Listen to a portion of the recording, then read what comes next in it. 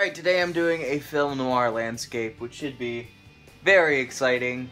Uh, it's impossible to say that this painting wasn't inspired by Sin City, so it's inspired by Sin City and people want to do it. So today we are doing Sin City something. Whatever, I can't remember what it's called. But yeah, here we go.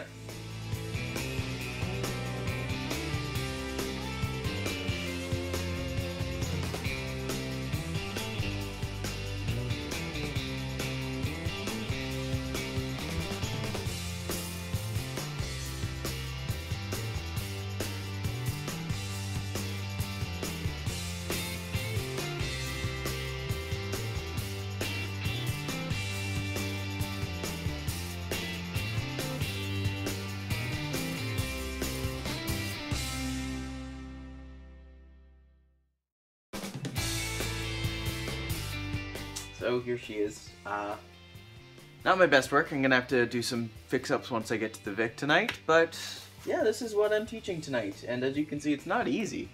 Uh, this one's actually surprisingly tricky. A lot of little bits and bobbles to it, so yeah, anything to do with the human figure, if you ever see Paint Nite do it, always always be skeptical unless you're unless you're looking for a real challenge. Don't maybe don't do it.